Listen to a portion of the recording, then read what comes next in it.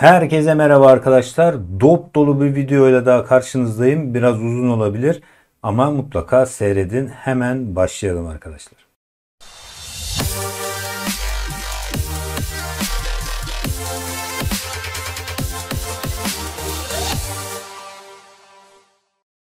Evet, ilk nereden başlayacağız? Klasik kendi borsamızdan BIST'ten başlıyoruz. Ee, BIST işte biliyorsunuz şuradaki 8000 işte önce şuradaki 3 haftadır e, testere yaptığı yeri kıracak mı diyorduk, kırmıştı.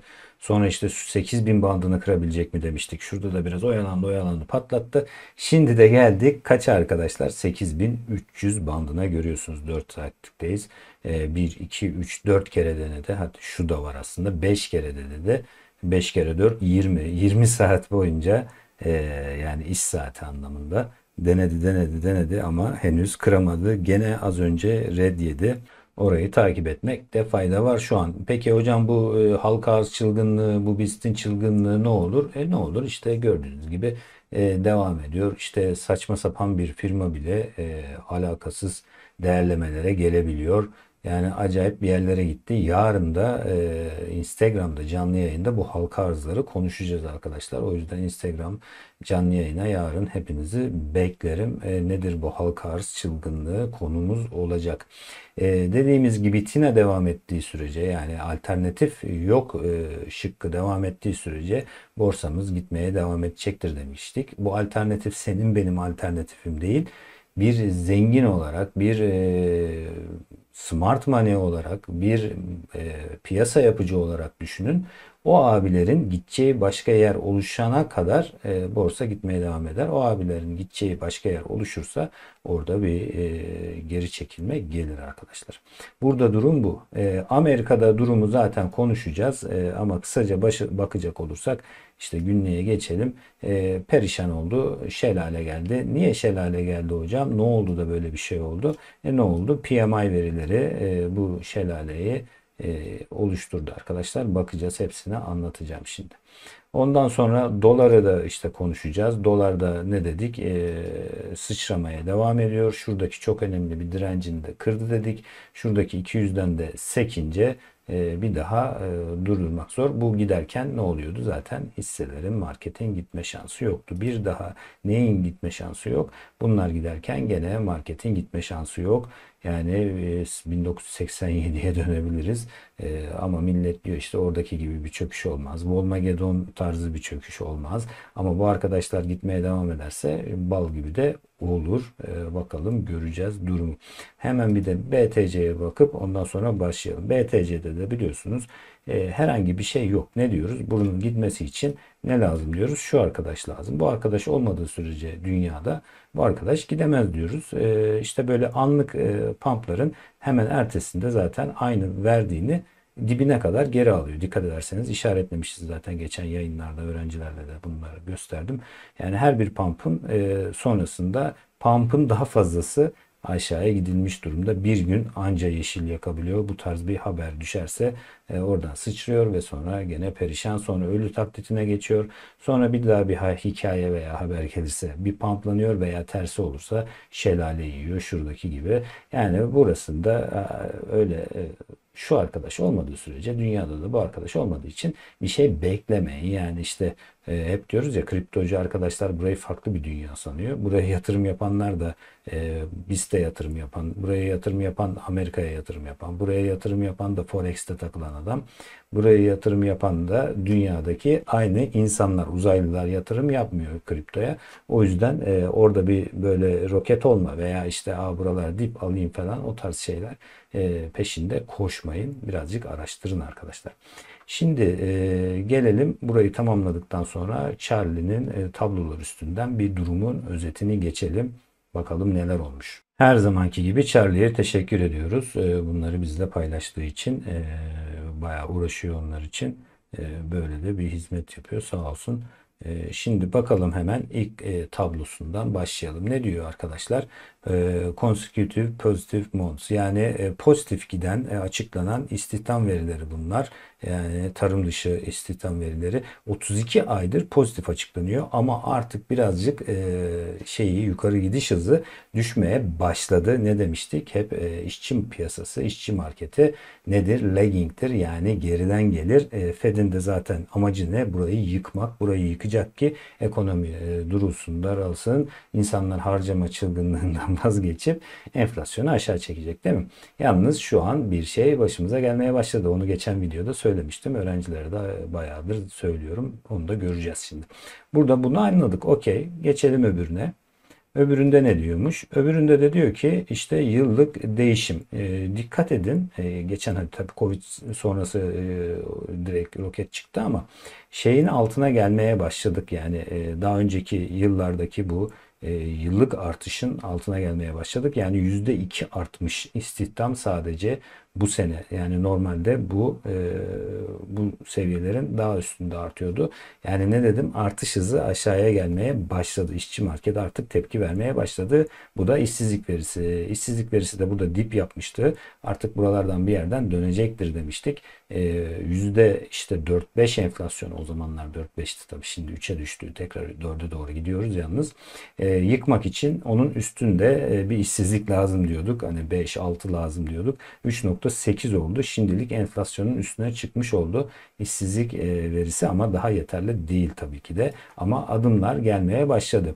E, bu ne arkadaşlar? İşten çıkanların e, oranı. Şimdi şuralarda işten çıkanların oranı artmıştı. Neden? Çünkü adamlar rahattı. O zaman iş bulmak çok kolaydı ve enflasyona kendilerini ezdirmemek için işten çıkıp daha yüksek maaşlı bir işe geçiyorlardı. Geçiyorlardı, geçiyorlar. Ondan sonra baktılar artık enflasyon iyice roketleyince işten çıkma cesaretini de gösterememeye başladılar. İş açıklığı da azalmaya başlayınca işten çıkmalar dikkat ederseniz iyice düştü. İnsanlar artık dört elle işlerine sarılıyor. Hatta bir iş değil iki iş, üç iş de çalışanlar var. O yüzden payroll'lardaki istihdamdaki artışın biraz sebebi de bu ikinci işe, üçüncü işe gidenlerin de olduğunu söylemiştik.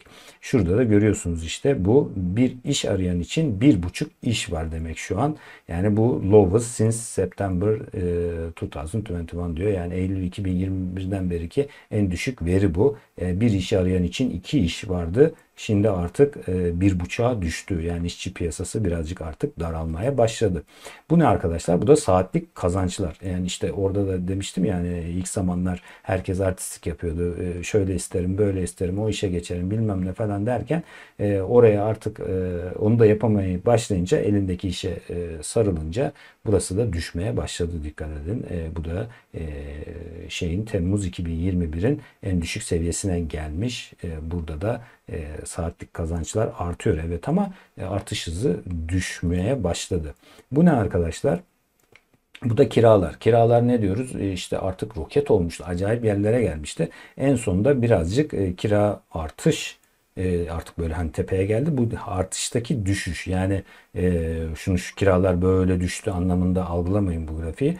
Kiralar hep artıyordu. Yani yüzde işte bilmem kaç artıyordu, şu kadar artıyordu ama artıyordu. İlk defa işte artık birazcık kiralar geri geldi ama eksi 1.2 yani 1.2 bir ayda tabii bu olmaz. E, Birçok kez geri gelmesi lazım ki kiralar doğru düzgün bir yere gelsin arkadaşlar. Burada ne görüyoruz? Burada da işte e, kiraların e, shelter yani barınma CPI'daki tüfedeki barınma e, şimdi kalemini zaten hep işliyorduk. Diyorduk ki barınma kalemi çok feci roket yani ev ve e, kiralıklar işte satın almak istersen de e, ev fiyatları da roketti, kiralar da roketti. Barınma problem haline gelmişti. Çok büyük e, orana sahip kalemlerden biriydi işte 8.2'lerdeydi. Enflasyonun kendisi tüfenin manşeti 4'lere 5'lere düşmesine rağmen bu arkadaş 8'lerde geziyordu.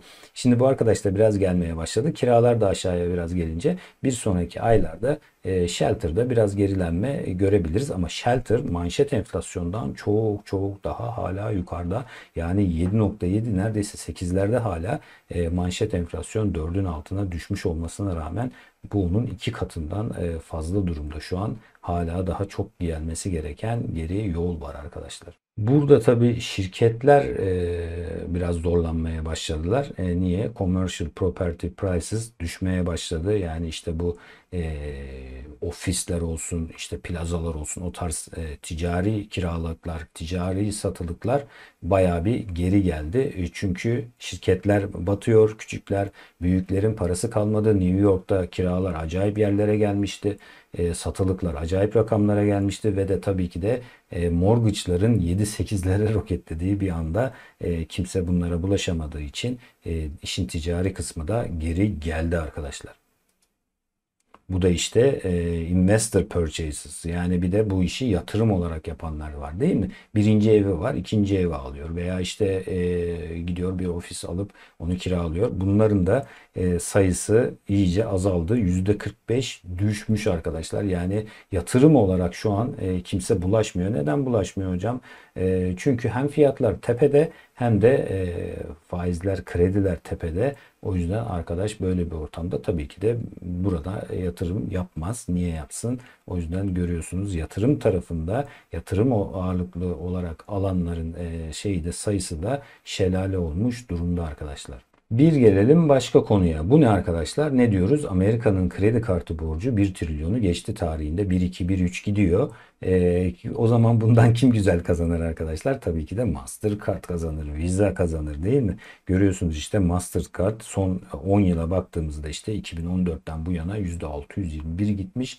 S&P'nin 230 gittiği yerde müthiş bir performans göstermiş Mastercard. İşte net income'ı %242 artmış. Revenue'su da e, gelirleri de %201 artmış arkadaşlar. Bunlar çok güzel rakamlar. Tabii böyle e, finansal bir firma için. E, ama bu tabii halk açısından da kötü değil. E, bu yani firmanın roketlemesi, kredi kartı firmasının roketlemesi ne demek? İnsanlar kredi kartıyla geçiniyor'a dönüşmüş demek. Yani zaten biz de kendi ülkemizde zaten biliyoruz. Hepimiz kredi kartıyla kredi kartıyla ödüyorsunuz. E, adamlarda da durum pek farklı değil artık. Onlar da o duruma geldiler. E, dediğim gibi 1 trilyonu geçince işte Mastercard'ın net profit marjini %43'lere gelmiş. E, şuralarda da tepe yapmıştı tabi. E, bu yani 2022'de tabi ama e, ondan sonra inmişti. Şimdi tekrar yükselmeye başladı. İnsanlar gene harcamaya devam. Price to sales ratio'da e, yani fiyat e, satış oranı da yükselmiş durumda. 16'ya gelmiş durumda. Birazcık artık e, pahalılaşmaya başlıyor ama e, hala marjinleri iyi durumda. E, Mastercard'ın o da işte neden kaynaklanıyor dediğim şeyden. Bu da işte Visa ve Mastercard için e, ödedikleri komisyondan e, kazandıkları para arkadaşlar. 93.2 milyar dolar kazanmış Visa ile Mastercard sadece e, fiillerden yani komisyonlardan aldığı ücretlerden e, neredeyse 100 milyar dolar kazanmış 2022'de. 2023'te bence bunu zaten çoktan geçmiştir arkadaşlar. Geçelim daha önceki e, şeylerde konuştuğumuz konulardan birine ne demiştik? Acaba petrol gene hortluyor mu? İşte görüyorsunuz petrol hortlaması neydi? Domino'nun ilk taşıydı. O ona zam gelince enerji fiyatları uçunca zaten enflasyonun e, tutulmasının imkanı kalmıyordu. Çünkü her şeye zam geliyordu değil mi? İşte burada da görüyorsunuz e, crude oil'lan e, WTI'ın e, roketlediğini zaten grafikler birbirine çok yakın ve böylelikle şu işte e, son e, iki ayda roketi attılar. Bunlar diyorum işte bize yol, su, elektrik olarak geri dönecek arkadaşlar. Peki enflasyon rakamları ne? Görüyorsunuz işte şurası tüfe, şurası da çekirdek tüfe. E, rakamlar roketlemeye devam ediyor. Kendileri zaten Fed, Atlanta Fed'in kendi söylediği e, beklenti enflasyon beklentisi rakamları bile yukarı yönlü. E şimdi enflasyon yukarı yönlü beklentisi devam ediyorsa e peki öbür taraftan e, ekonomi çökmeye devam ediyorsa buna ne diyorduk? Zaten o kelimeyi birazdan gene e, konuşacağız. E, ana başlığımız o kelime zaten. E, bakalım ne oluyormuş o kelime olunca onu da göreceğiz. İşte beklentileri görüyorsunuz. Bu e, beklentiler ne oldu? E, işte yüzde 95 oranında e, sabit. Ondan sonra e, 50 25 bas puan e, yüzde 5 e, geliyordu. 20 e, işte şey Eylül'deki şey için. Ondan sonra Kasım içinde e, ne olmuştu? Neredeyse bu arkadaş %50'lere gelmişti. Sonra e, JOLTS gelince, istihdam verileri gelince aşağı gelmişti. Şimdi PMI'lar gelince tekrar yukarı çıkmaya başladı. Yani Eylül ayında bir pas, Ekim ayında 25 bas puan gözüküyor ama ben Eylül ayında bile bir 25 e, gelme ihtimalinin olduğunu düşünüyorum. Ne olur ne olmaz. Yani yapabilir mi bilmiyorum ama e, veriler hiç de güzel değil. E, yapmak zorunda kalabilir.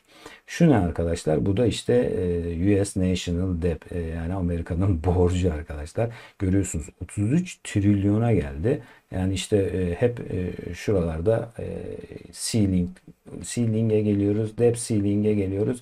Ceiling'i e, yukarı çekiyorlar, yukarı çekiyorlar, yukarı çekiyorlar. Çektikçe yukarıya ne oluyor? Böyle roket oluyor. En son işte şurada da battık kaldık bilmem ne dediler. En sonunda ceiling'i gene serbest bıraktılar. Şimdi e, o serbest bıraktıkları zamandan bu yana yani 2-3 ayda bile hemencik 2 trilyon roket attı. Borç, borç nereye kadar gidecek? Ne olacak? Bu borç nasıl ödenecek? O da soru işareti arkadaşlar. Yani önümüzdeki ay e, ödenmesi gereken e, Amerika'nın borcunun %30 küsürüydü. Onu Telegram'da atmıştım. O kadarını seneye e, vadesi doluyor, ödemesi gerekiyor. O borç neyle ödenecek? Hep birlikte göreceğiz arkadaşlar. Evet, Charlie'nin grafiklerinden sonra işte o kelimeyi konuşacağız dediğimiz kelimeye bir gelelim bakalım. Şimdi onun örneklerini gösterelim. Bakalım o kelime gerçekten olur mu, oluyor mu? Belki de şu an çoktan girdik mi bakalım. Şimdi bu ne? German factory orders drop more than anticipated. Yani e, Almanya'daki e, fabrikaların e, siparişleri beklenenden çok daha fazla düştü diyor. Ama Almanya ne üstüne kurulu arkadaşlar? Manufacturing yani üretim üstüne kurulu. E, oradaki düşüş direkt Almanya'yı geçmiş olsuna getiriyor değil mi? Fabrika ülkesi yani. E, görüyorsunuz siparişler şelale olmuş durumda. E, peki burası zaten resesyondaydı. Şimdi bir de e, enflasyon hala aşağı gelmedi. Siparişler e, yani demand tarafı e, talep tarafı da düşüyor. E şimdi talep tarafın düşük. Ama fiyatlar hala çok yüksek. Masrafların hala çok fazla. Enflasyonist ortam devam ediyor. Ne diyorduk buna? İşte stagflasyon bu kelimeyi duymaya çok başlayacaksınız bu sıralar demiştim. Ee, işte bu buna bir örnek. Başka örnek var mı? Aa, bir tane daha. China PMI signals further slowdown in August. Prices edge higher. Ee, ne diyor? Çin PMI'yi e, ne, ne sinyal veriyormuş? E, yavaşlamayı, ekonomide gerilemeyi e, durulmayı sinyal veriyor diyor. Ama e, ne olurken fiyatlar artmaya devam ederken bu ne demek işte stagflasyon demek. Başka örnek var mı? Var. Southwest Airlines e, stock drop as August leisure booking were on low and of expectations. Yani diyor ki Southwest e, hava yollarına diyor e, bookingler yani işte e, demand tarafı, talep tarafı azalmaya başladı diyor. E şimdi e, gördünüz crude oil'i falan yani e, uçak yakıtları da sonuçta e, onlar da roket olacak bu e, normal petrol fiyatlarıyla birlikte. E şimdi senin ödediğin masraflar artmaya devam ediyor. E, ama müşteri azalıyor. O zaman ne oldu? Stagflasyon. Yani stagflasyon, stagflasyon, stagflasyon. E işte Southwest'in şurada da zaten söylüyor. E, Southwest Airlines United sound alarm about rising jet fuel cost. Yani jet yakıtları e, fiyatlarındaki artış alarmları çalmaya başladı diyor. E, zaten bilet fiyatları e, bilet fiyatları diyorum. Bilet satışları iyice azalıyor demişti bir önceki haberde de. E, gelirler azalıyor, giderler artmaya devam ediyor. Stagflasyon. Peki bu arkadaşlar da çıkıp e, işte bunlardan birkaç tane var. Televizyonu seyrederseniz zaten böyle CNBC bilmem ne falan oralarda hep zaten marketi pamplamaya devam. Orada kimse e, gerçek senaryoları konuşmuyor. Ne diyor? Treasury yield jump is not e, dead to equities. Yani e, tahvillerin e, faizlerin yükselmesi e, hisseler için e, ölüm e, haberi değil diyor.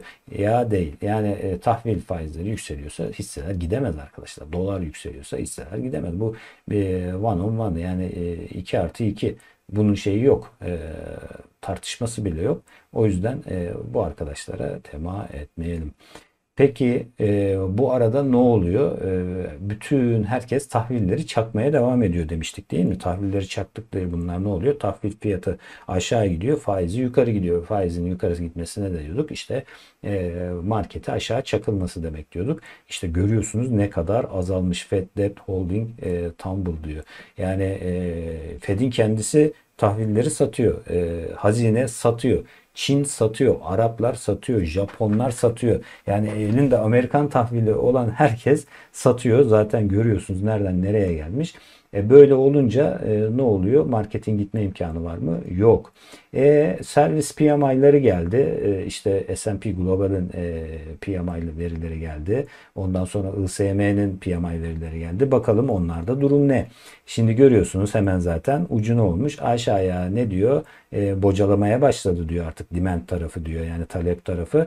O yüzden e, weakest growth in activity for 7 months diyor. Yani 7 e, aydır e, aşağı doğru gitmeye devam ediyor ve ucu da aşağı gitti. Şurayı okumanız lazım arkadaşlar. Şurada key findings diyor. Yani rapordaki e, anahtar şeyler şunlar. Renewed decline in new business. Yani yeni işlerde şey var, decline var. orası aşağı doğru gidiyor. Cost burdens rise after faster pace but selling price inflation slows. İşte kilit cümle burası arkadaşlar. Yani e, bir firmanın ne oluyor? E, giderleri artmaya devam ediyor ama gelirleri düşmeye başlıyor e, diyor. O da ne demek arkadaşlar? Stagflasyon demek. Employment growth weakest since October 2022. E, istihdamda e, ne diyor? E, şeyden beri e, Kasım'dan beri pardon Ekim'den Ekim 2022'den beri ki en e, düşük e, en zayıf büyümeyi gerçekleştirdi diyor. Aslında e, şurada e, e, göstereceğim şimdi. Şu komentin ilk cümlesini okuyun. The survey data send a hint of raising stagflation risk. Uh diyoruz ya bize. İşte arkadaşlar yani raporda bile e, yazmaya başladılar. Yani stagflasyon ihtimali riski artmaya başladığını gösteriyor veriler diyor arkadaşlar. Abiler raporda bile demişler. İşte burada da zaten sektörel olarak bakarsanız gene görüyorsunuz. Hepsi aşağıya e, gitmiş durumda. Healthcare, Consumer Services, teknoloji, özellikle teknoloji feci çakılmış durumda. Burada da key'leri okursanız zaten gene e, aynı şeyleri göreceksiniz. ISM'ye bakacak olursak ISM'nin manufacturing'inde e, birazcık hani biraz daha e, S&P e, PMI'ından bir tık daha e, şurada manşette iyi ama içi gene kötü. İşte hani manşeti 46.4'ten 47.6'ya yükselmiş ama hala 50'nin altında. Yani hala daralma bölgesinde. E, yeni siparişler geri gitmiş görüyorsunuz. Sipariş mi sipariş yok. Üretim biraz artmış ama burada bakacağımız şey ne arkadaşlar? Prices. Yani adamın ödediği fiyat artmış mı? Artmış. 42.6'dan 48.4'e gelmiş. Yani enflasyonist ortam devam ediyor. Ama bir yandan da e, işler kötüye gitmeye devam ediyor. Hoş geldin gene stagflasyon. E bir de bunun servis tarafına bakalım. Servis tarafı da gene manşette tamam güzel artmış. Ama prices'a geçtiğimiz zaman bunda da e, fiyatlar gene yukarıya roket olmuş durumda arkadaşlar. O yüzden stagflasyonun ayak seslerini falan geçtik. Bence tamamen oraya doğru gidiyor gibi duruyor. Bakalım göreceğiz nasıl olacağını ama işte bunun etkisini zaten markette e, görüyorsunuz işte markette ne oldu? Çakıldı. E, çakılmasının sebebi de işte tamamen bunlar e, bu veriler ışığında gidemez. Eylül ayının zaten sezonsallık olduğunu da söylemiştik. Sezonsal olarak yani tarihte hep eksi yazan bir ay olduğunu söylemiştik. O yüzden hani şurada e, bütün her şey bullish senaryoydu. Neden? Hiçbir e, hedge fund manager e, hiçbir baba alım yapmıyor demiştik. İşte sebebi oydu. Zaten e, şimdi bu PMI'larda gelince indi aşağıya. Geçen hafta biliyorsunuz e, JOLTS yani istihdamlar falan e, kötü haber gelmişti ama kötü haber iyi haber olmuştu acaba artık kötü haber kötü habere geçiyor muyuz? O eşikte miyiz? Onu göreceğiz işte. Oraya çok yaklaşıyoruz gibi duruyor. Yani resesyon veya işte stagflasyonlu resesyon oralar sıkıntılı yerler biliyorsunuz. Özellikle stagflasyon merkez bankaların başın belasıdır. Niye? Çünkü faiz arttırmak zorundadır e, şeyleri enflasyonu aşağı çekebilmek için ama arttırırsa zaten e, çakılmış olan bir ekonomide daha da faiz arttırırsanız bir Black Swan'a yol açarsınız. İşte herkes şu an bir Black Swan olacak mı olmayacak mı onu bekliyor. Yani bir bir yerde bir şeyler patlayacak mı demek Black Swan'dan kastım e, bilmeyen arkadaşlar için bir, bir yerde bir şey. Yani her krizin bir ismi var değil mi işte 2008'deki işte o emlak e, Lehman Brothers patladı. O işte e, büyük buhran dediğimiz şey oldu. Ondan sonra 2001'de internet teknoloji bilmem ne dot com krizi dedik onun ismine. İşte yer, bir yerde bir şey patlayınca resesyona giriliyor, döngü sıfırlanıyor ve ondan sonra tekrar başlıyoruz. Yani burada soft landing diyorlar ya işte bir şey patlamadan o olsun istiyorlar ya o olacak mı olmayacak mı göreceğiz ama biz hani diyoruz ekonomide böyle bir şey olmadı hiç soft landing diye bir şey yaşanmadı. Her zaman resesyonla bitti ve bir yerde bir şeyler patladı. Bu sefer gene öyle olacak mı olmayacak mı onun sonunu zaten göreceğiz. Ama hep diyorlar işte bu sefer farklı bu sefer farklı. Hiç de bu sefer farklı gibi durmuyor ama hep birlikte bunu yaşayıp göreceğiz arkadaşlar. Evet durum bu. Ee, o yüzden burayı yakın takip etmek lazım. BIST'te de e, durumu dediğim gibi çılgınlık devam ediyor. Yarın canlı yayına bekliyorum hepinizin Instagram'da. E, mega eğitimin Eylül ayı satışları da yarın akşam sonlanıyor. O yüzden hala düşünen arkadaş varsa bana ulaşsın yazsın. E, ve bir sonraki videoda görüşmek üzere arkadaşlar. Hoşçakalın.